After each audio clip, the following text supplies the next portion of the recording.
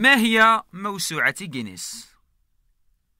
موسوعة جينيس للأرقام القياسية هي عبارة عن كتاب مرجعي يصدر كل عام ويحتوي على أرقام قياسية عالمية ومعروفة ولقد حقق الكتاب ذاته رقما قياسيا حيث أنه يعد سلسلة الكتب الأكثر مبيعا على الإطلاق فلقد تم إصدار النسخة الأولى من الموسوعة سنة 1955 بواسطة شركة جينيس وهي تعد الآن من أكثر المراجع دقة والتي يتم الرجوع إليها للتعرف على الأرقام القياسية. فما هو محتوى موسوعة جينيس؟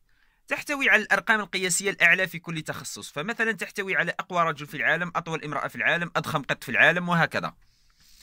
حسب موقع شركة جينيس للأرقام القياسية على الإنترنت ذكرت الشركة أن طبعة سنة 2006 احتوت على 64 ألف رقم قياسي عالمي في مختلف المجالات والفعاليات على المستويين الفردي والجماعي.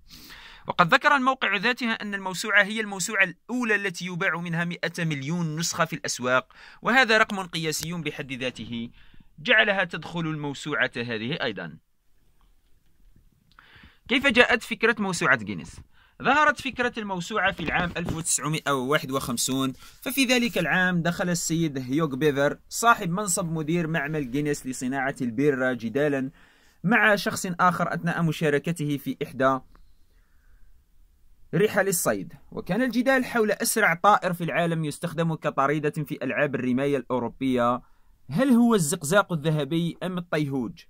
وفي تلك اللحظة أدرك بيفر مدى النجاح الذي قد تحققه الموسوعة التي تأتي بإجابة وافية على هذه الأنواع من الأسئلة.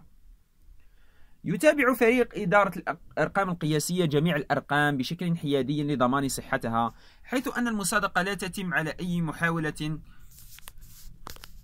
ولا تمنح شهادة جينيس للأرقام القياسية إلا بعد التحقق منها وتنتفي كل الشكوك الدائرة حولها.